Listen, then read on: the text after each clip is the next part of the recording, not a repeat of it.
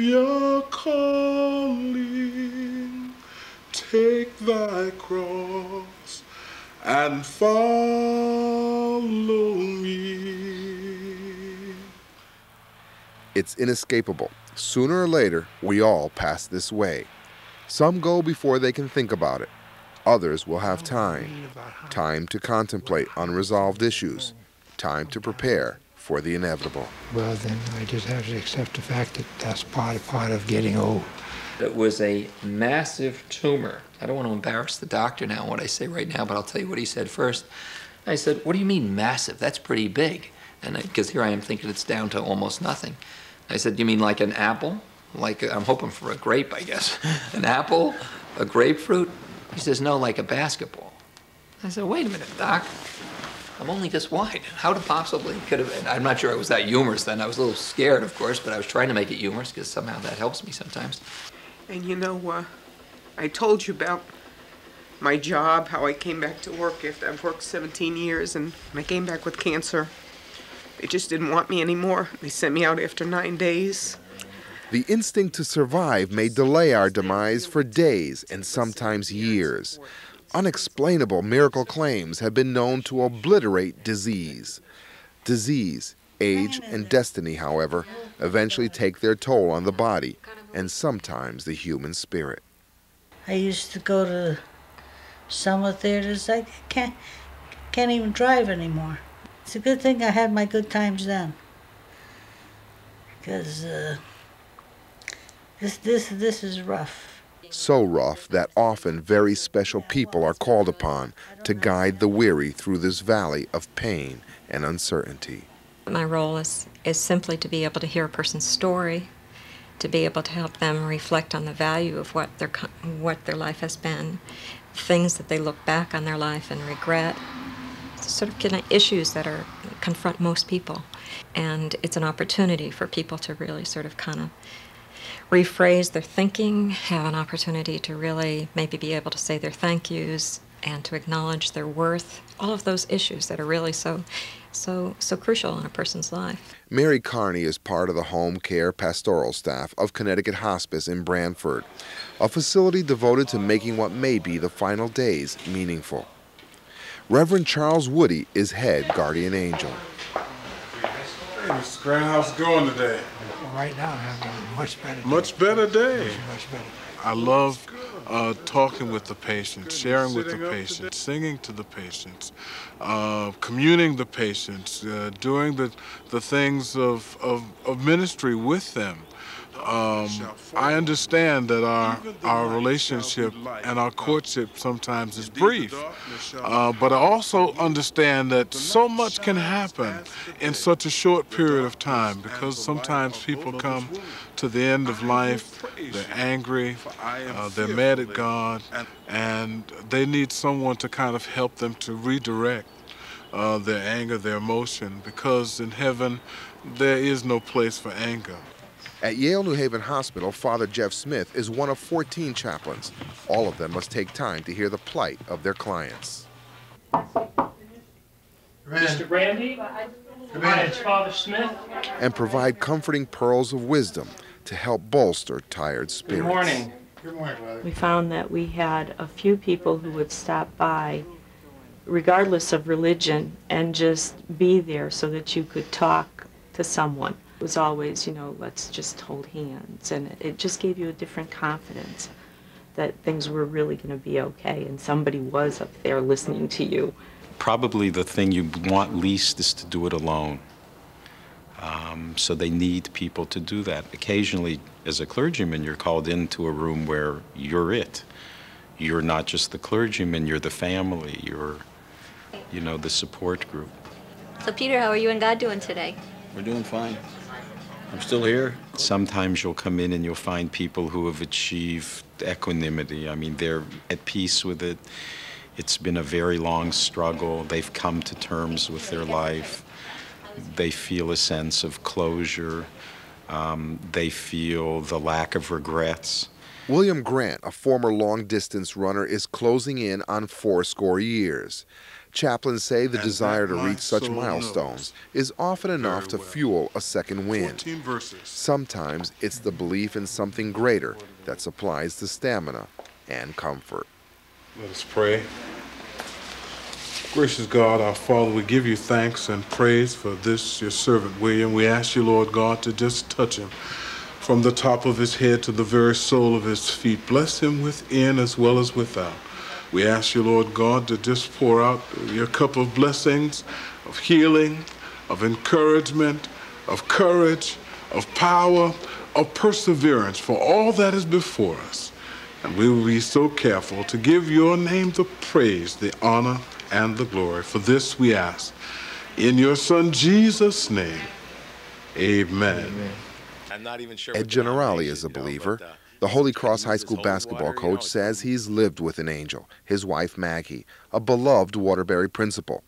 At one of her husband's basketball games, Maggie suffered an aneurysm. During her stay at Yale New Haven Hospital, Generali used whatever religious ammunition he had to try and save his wife. one of the chaplains, Barbara, came up that night. It was a Friday night, and you know I was, you know, too coherent, I guess, at the time, and I said, you know, sister, you know, sister, and I and I thought she was a nun, you know. I mean, see the cross, and you know, I'm not even sure what denomination, you know, but uh, I said, could you use this holy water? You know, it's from Lourdes, you know, maybe this will have some some powers as we say our prayers, and uh, and so you know, she sure I I love to use this holy water, you know, and uh, so we did, you know, we said our prayers, and Barbara pre- uh, blessed Maggie, and. Um, sure enough, the next morning we came back and we had we had grieved all night because we thought that was it. And the next morning we came back and Maggie was still there, and I said, "Oh, you know, we'll, we'll keep going." And so we called uh, Barbara the miracle worker for uh, you know the next couple of weeks because she kept her going a little bit longer.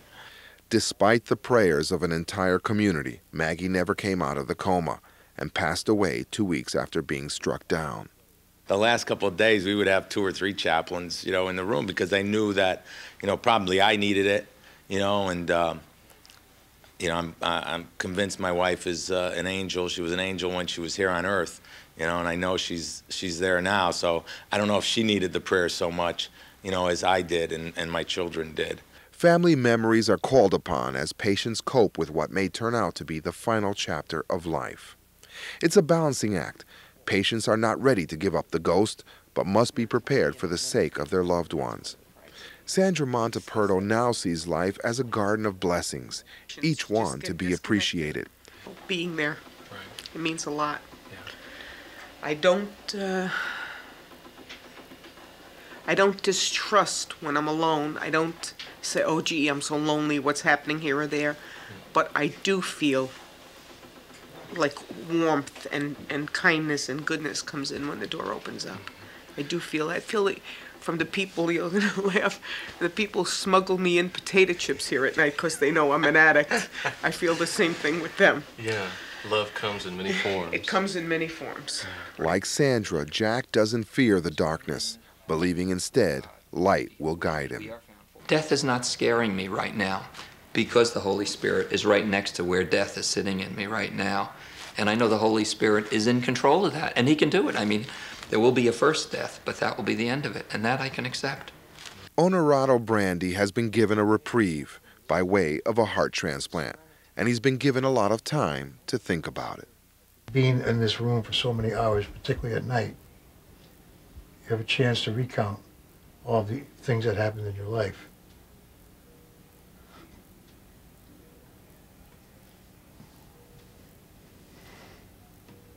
Excuse me.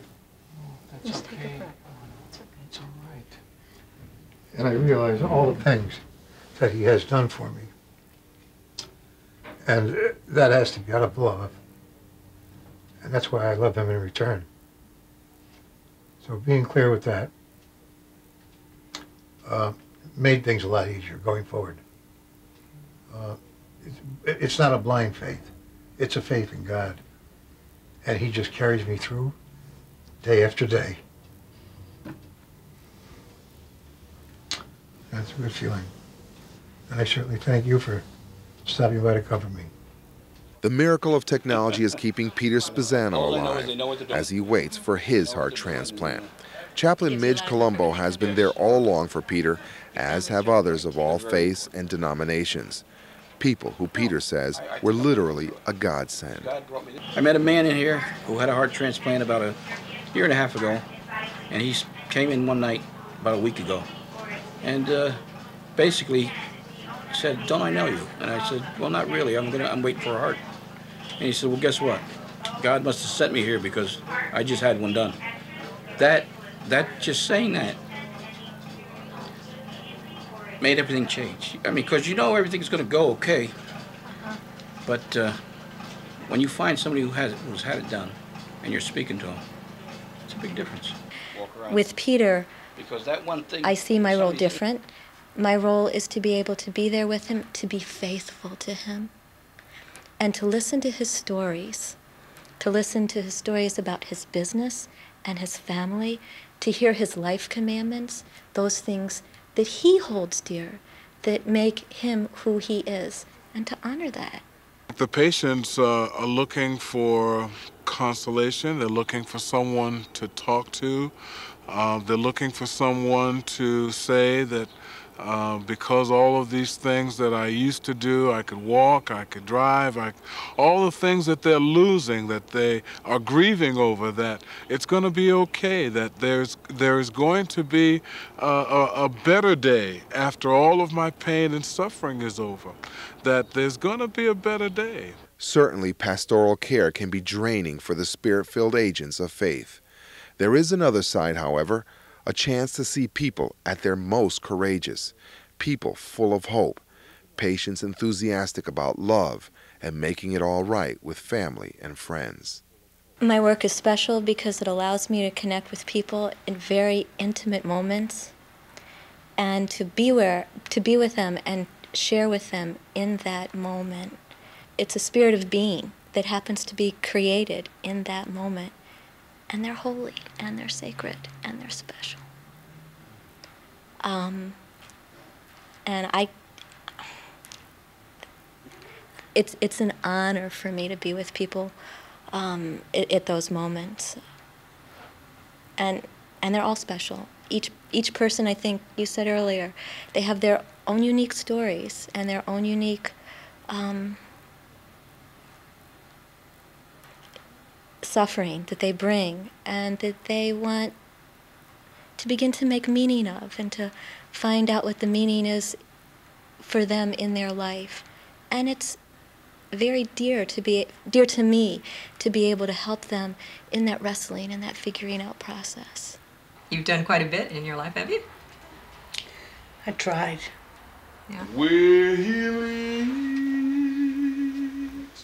me, I will follow, and I'll go with him,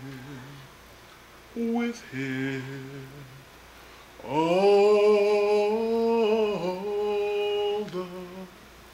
way.